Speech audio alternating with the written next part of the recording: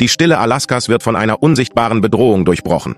Arnold, ein tauber Fischer, steht dem Tod gegenüber, als er das gefürchtetste Tier des Waldes trifft. Eine einzige Bewegung könnte seine letzte sein. Als alles verloren scheint, passiert das Unerwartete. Die Sonne war kaum am Horizont aufgegangen, als Arnold, ein Mann mittleren Alters mit scharfen Augen und schwieligen Händen, sein kleines Boot über die kristallklaren Gewässer des abgelegenen Sees im Herzen Alaskas gleiten ließ. Die Stille, die ihn umgab, war nicht nur die der Umgebung, sondern auch sein ständiger Begleiter seit der Jugend, als er sein Gehör verlor. John atmete tief ein und spürte, wie die frische Morgenluft seine Lungen füllte. Seine Augen schweiften über die atemberaubende Landschaft um ihn herum, die majestätischen Berge, die sich auf der spiegelnden Oberfläche des Sees widerspiegelten, die imposanten Bäume, die sich an den Ufern erhoben. Ein friedliches Lächeln bildete sich auf seinen Lippen, als er dachte, hier finde ich meinen Frieden. Mit präzisen und geübten Bewegungen warf John seine Angel aus. Das Angeln war mehr als nur ein Hobby. Es war seine Verbindung zur Welt, seine Art, sich als Teil von etwas Größerem zu fühlen. Konzentriert beobachtete er die Angelschnur und wartete auf den richtigen Moment, um sie einzuholen. Die Minuten vergingen und wurden zu Stunden. John war so in seine Tätigkeit vertieft, dass er den Schatten nicht bemerkte, der sich leise am Ufer des Sees näherte. Ein riesiger Grizzly, angezogen vom Geruch der Fische, die John bereits gefangen hatte, schlich sich heran. Erst als eine sanfte Brise wehte und den starken, moschusartigen Geruch des Raubtiers mit sich brachte, lief John ein Schauer über den Rücken. Langsam drehte er sich um, seine Augen weiteten sich vor Schreck, als er die imposante Gestalt des Bären weniger als zehn Meter entfernt sah. Die Zeit schien stillzustehen. John konnte sein Herz gegen seine Brust hämmern spüren, Adrenalin strömte durch seine Adern. Sein Verstand schrie vor Panik, aber Jahre der Erfahrung in der Natur ließen ihn instinktiv handeln. Mit berechneten und langsamen Bewegungen stand John auf, ohne den Bären aus den Augen zu lassen. Seine Hände zitterten leicht, als er nach einem dicken Ast auf dem Boden des Bootes griff. Bleib ruhig, John, dachte er und versuchte seinen keuchenden Atem zu kontrollieren. Du kannst das schaffen. Den Ast über seinen Kopf hebend, versuchte John größer und bedrohlicher zu wirken. Der Bär, zunächst überrascht, ließ ein tiefes Knurren hören und machte einen Schritt nach vorne. John spürte den Schweiß über seine Stirn rinnen, sein Körper war gespannt wie eine Geigenseite, die kurz vor dem Reißen stand. In diesem Moment extremer Anspannung, als John glaubte, dass sein Ende nah sei, geschah das Unerwartete. Eine Schar Gänse, erschrocken durch die Anwesenheit des Bären, flog plötzlich auf. Das plötzliche Geräusch und die heftige Bewegung fesselten die Aufmerksamkeit des Tieres. John erkannte die Gelegenheit und begann langsam zurückzuweichen, ohne den Bären aus den Augen zu lassen.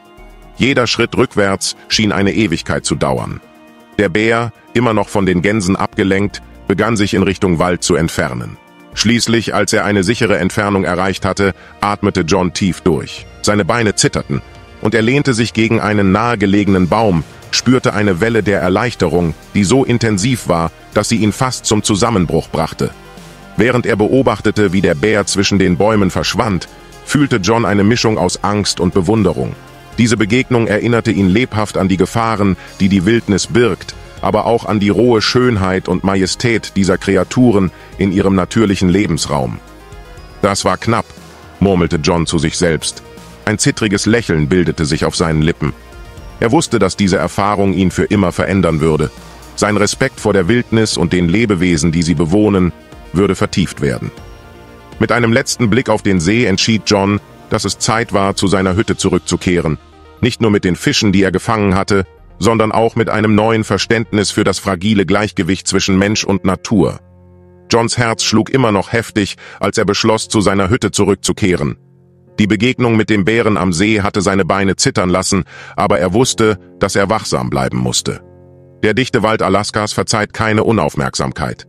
Während er den gewundenen Pfad entlang ging, hielt John alle seine Sinne auf höchster Alarmstufe. Der Wind flüsterte durch die Bäume und brachte die Geräusche und Gerüche des Waldes mit sich, die er nicht hören konnte, aber im Laufe der Jahre gelernt hatte zu interpretieren. Plötzlich erstarrte John. Sein Blick fixierte sich auf eine Szene, die ihm das Blut in den Adern gefrieren ließ. Weniger als 30 Meter entfernt spielte eine imposante Braunbärin mit ihren zwei Jungen. Der Fischer wusste sehr wohl, dass es im Wald keine gefährlichere Kreatur gibt als eine Mutterbärin, die ihre Jungen beschützt. Ruhig bleiben, John, murmelte er fast unhörbar zu sich selbst. Langsame Bewegungen, keine Panik. Mit größter Vorsicht begann John sich zurückzuziehen, ohne die Bärenfamilie aus den Augen zu lassen. Jeder Schritt war berechnet, gemessen, leise. Oder so dachte er, Crack. Das Geräusch eines brechenden Astes unter seinen Füßen hallte durch die Lichtung wie ein Schuss. John spürte, wie sein Herz für einen Moment stehen blieb. Die Bärin hob abrupt den Kopf, schnupperte in die Luft, ihre dunklen Augen durchkämmten die Umgebung, bis sie sich direkt auf ihn fixierten. Ein leises, bedrohliches Knurren kam von der Bärin, und John spürte, wie sich die Haare in seinem Nacken aufstellten. Er konnte die mächtigen Muskeln des Tieres unter dem dicken Fell sehen, bereit zum Angriff. Nicht bewegen, dachte John verzweifelt. Nicht weglaufen. Keine Angst zeigen. Die Sekunden zogen sich wie Stunden dahin. John wagte kaum zu atmen. Sein Körper war starr wie eine Statue. Die Bärin machte einen Schritt nach vorne, dann noch einen. John konnte jetzt jedes Detail ihres Gesichts erkennen, die geweiteten Nüstern, die teilweise freigelegten scharfen Zähne. In diesem Moment war John sich sicher, dass es sein Ende war. Flashbacks seines Lebens zogen an seinem geistigen Auge vorbei. Seine Kindheit, der Unfall, der ihn taub machte, seine Jahre der Einsamkeit im Wald.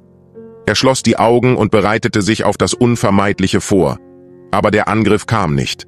Als John die Augen wieder öffnete, sah er, wie die Bärin langsam zurückwich. Sie schien beschlossen zu haben, dass er keine unmittelbare Bedrohung darstellte.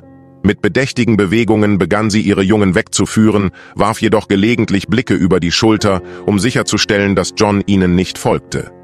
Die Erleichterung, die John durchflutete, war so intensiv, dass ihm beinahe die Beine wegknickten. Er wartete regungslos, bis die Bärenfamilie vollständig außer Sichtweite verschwunden war, bevor er wagte, sich wieder zu bewegen. Während er seinen Weg zur Hütte wieder aufnahm, jetzt mit schnelleren Schritten, dachte John über das nach, was gerade passiert war. Zweimal an einem einzigen Tag hatte er dem Tod ins Auge gesehen und überlebt. Der Wald, den er so gut zu kennen glaubte, zeigte sich erneut als unberechenbar und gefährlich. Respekt, murmelte John zu sich selbst, als er seine Hütte in der Ferne erblickte. Darum geht es. Den Wald und seine Bewohner respektieren. Als er die Sicherheit seiner Veranda erreichte, warf John einen letzten Blick auf die weite grüne Wildnis, die ihn umgab.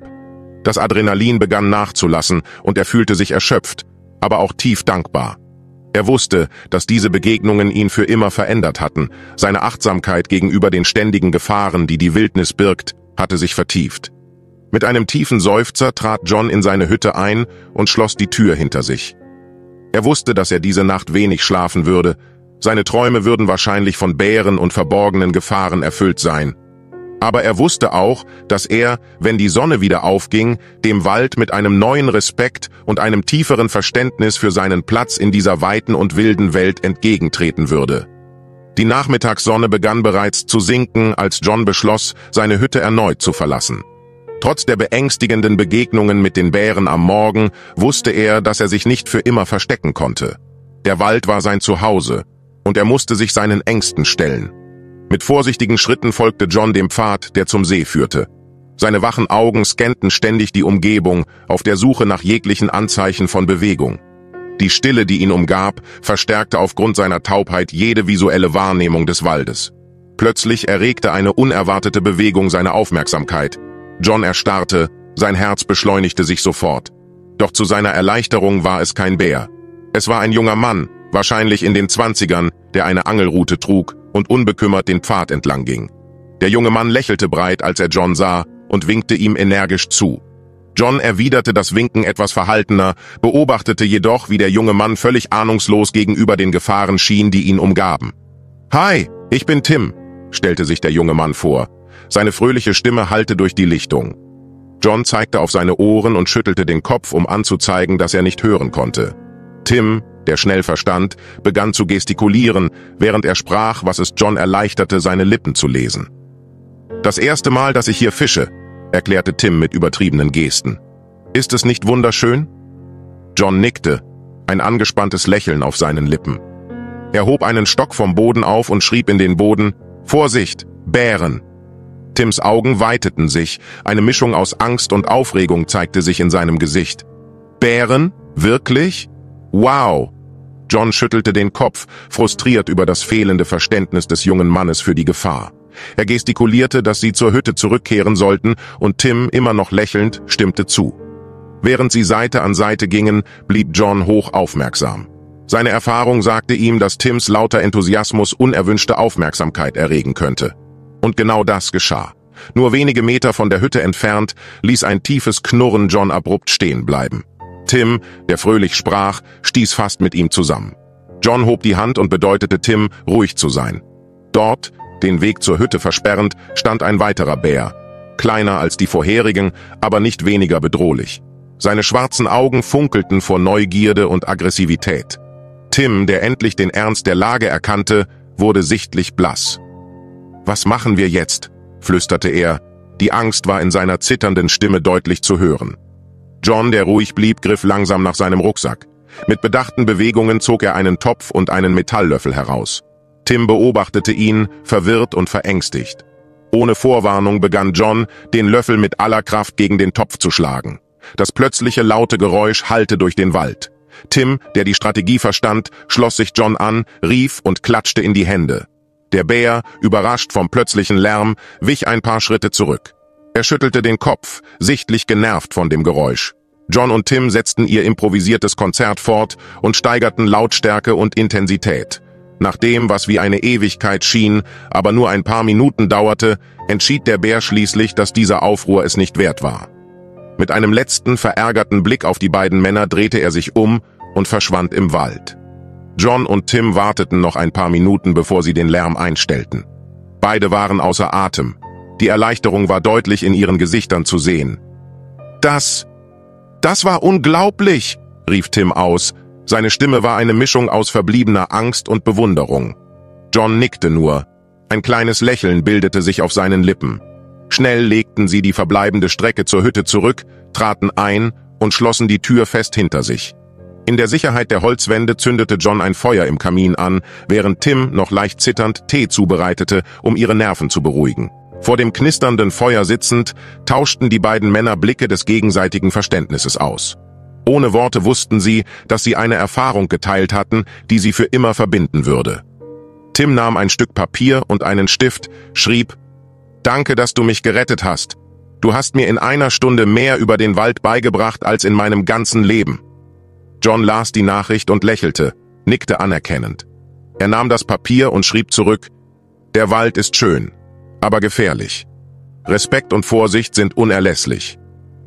Als die Nacht draußen hereinbrach, blieben John und Tim wach, tauschten Geschichten durch Gesten und geschriebene Worte aus.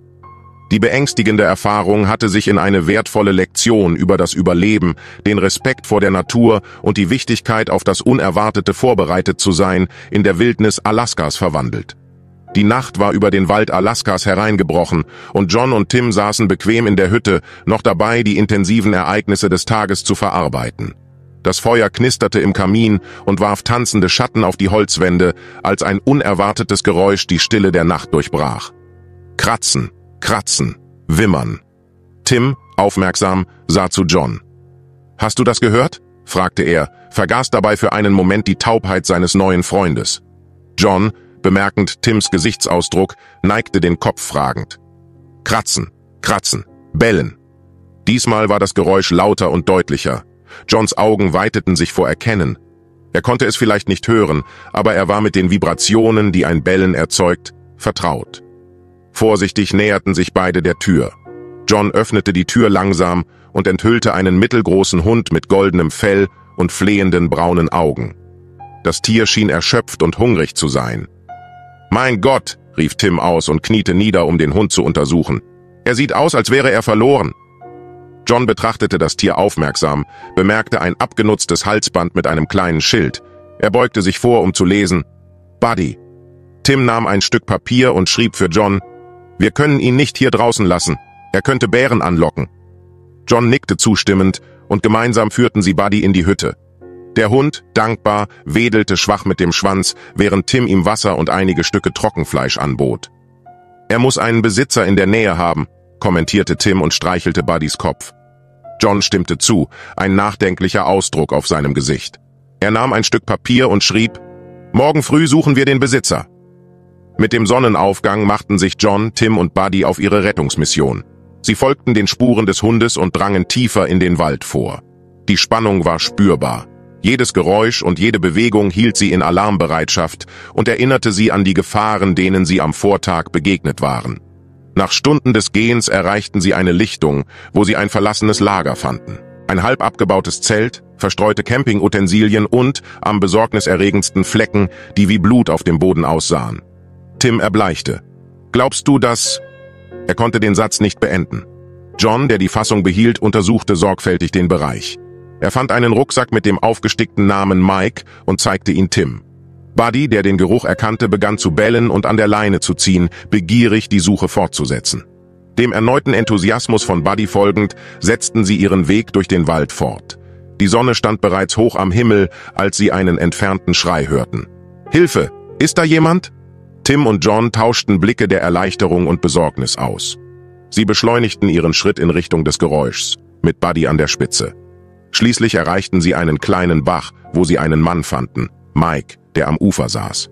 Sein Knöchel war geschwollen und er hatte eine Schnittwunde an der Stirn, aber seine Augen leuchteten auf, als er Buddy sah.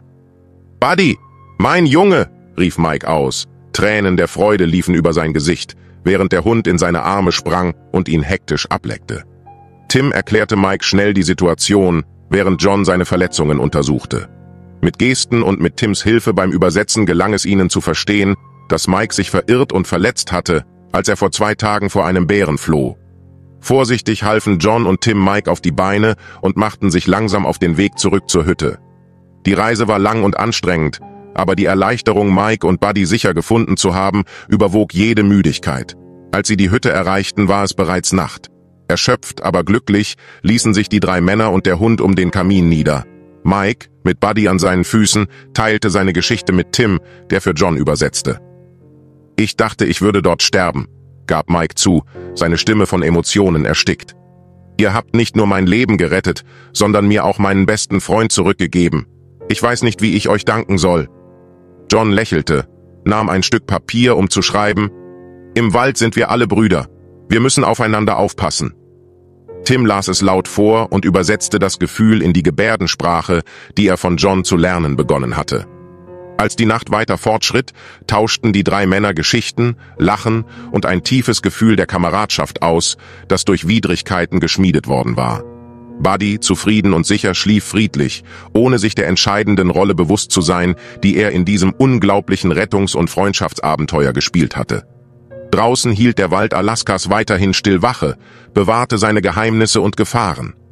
Aber in der Hütte hielten die Wärme des Feuers und der Geist der Kameradschaft die Schrecken der Wildnis zumindest für diese Nacht in Schach. Am nächsten Morgen, während Mike sich in der Hütte ausruhte, beschlossen John, Tim und Buddy zum verlassenen Lager zurückzukehren, um Mikes Sachen zu holen. Während der Suche fand Tim ein altes, abgenutztes Tagebuch. Hey, John! rief Tim und zeigte das Tagebuch. Schau dir das an! John kam neugierig näher. Beim Durchblättern der vergilbten Seiten weiteten sich seine Augen, als er eine rudimentäre Karte auf einer der Seiten sah. Die Karte zeigte den Standort einer Höhle, die nicht weit entfernt war. Tim, aufgeregt über die Entdeckung, gestikulierte lebhaft. Wir sollten es untersuchen. John zögerte und erinnerte sich an die Gefahren, denen sie bereits ausgesetzt waren. Aber die Neugier überwog, und er nickte vorsichtig. Nachdem sie Mike über ihre Pläne informiert hatten, machten sich die drei Männer und Buddy auf den Weg zu der geheimnisvollen Höhle. Die Reise war angespannt. Jedes Geräusch im Wald hielt sie in Alarmbereitschaft. Schließlich erreichten sie den Eingang der Höhle. Es war eine imposante Öffnung im Fels, teilweise mit Moos und Ranken bedeckt. Mit Taschenlampen in der Hand betraten sie den dunklen, feuchten Raum. Was sie darin fanden, raubte ihnen den Atem. Die Wände der Höhle waren mit alten Felsmalereien bedeckt, die Jagdszenen darstellten.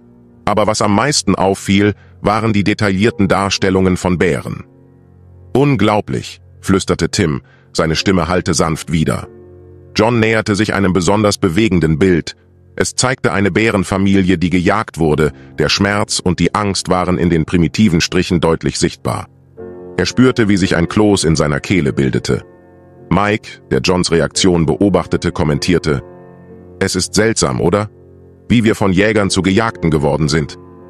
Tim übersetzte für John, der nachdenklich nickte. Er nahm sein Notizbuch und schrieb, Vielleicht waren wir nie wirklich die Jäger. Vielleicht waren wir immer Eindringlinge in ihrem Territorium. Die drei Männer schwiegen und nahmen die Bedeutung dessen auf, was sie sahen und fühlten. Die Malereien erzählten eine Geschichte von Koexistenz, gegenseitiger Angst und Respekt zwischen Menschen und Bären, die sich über Jahrtausende erstreckte. Als sie die Höhle verließen, schien die frische Waldluft eine neue Perspektive zu bringen. Die drei Männer setzten sich auf einen umgestürzten Baumstamm, Buddy lag zu ihren Füßen, jeder von ihnen in seine eigenen Gedanken vertieft. Tim war der Erste, der das Schweigen brach. Weißt du, ich habe den Wald immer als Spielplatz gesehen, als einen Ort für Abenteuer. Aber jetzt, er hielt inne und suchte nach den richtigen Worten. Jetzt verstehe ich, dass wir diejenigen sind, die in ihr Zuhause eindringen. John nickte, schrieb in sein Notizbuch, der Wald gehört uns nicht zur Eroberung. Es ist ein Privileg, hier zu sein. Mike, der sich noch von seiner Odyssee erholte, fügte hinzu, Fast hier zu sterben hat mir klargemacht, wie viel Zeit ich damit verschwendet habe, vor meinen Problemen davonzulaufen. Das Leben ist zu kostbar dafür. Jeder Mann, Berührt von der geteilten Erfahrung und der Offenbarung in der Höhle, machte sich ein stilles Versprechen. Tim entschied, dass er mehr über den Naturschutz lernen und wie man in Harmonie mit der Natur leben könne. Ich möchte anderen beibringen, diesen Ort zu respektieren, nicht nur für Spaß zu nutzen, erklärte er. Mike, mit tränenerfüllten Augen, teilte mit, ich habe meine Frau vor einem Jahr verloren. Deshalb bin ich hierher gekommen, um dem Schmerz zu entkommen. Aber jetzt weiß ich, dass ich mich dem stellen muss, ihre Erinnerung ehren muss, indem ich voll lebe. John, für seinen Teil, spürte, wie ein neues Ziel in ihm aufstieg. Er schrieb, ich möchte meine Erfahrungen teilen, anderen den wahren Geist der Wildnis beibringen. Vielleicht können wir so eine respektvollere Beziehung zur Natur aufbauen. Als die Sonne begann unterzugehen und den Himmel in orange Töne und rosa zu tauchen, schlossen die drei Männer einen Pakt.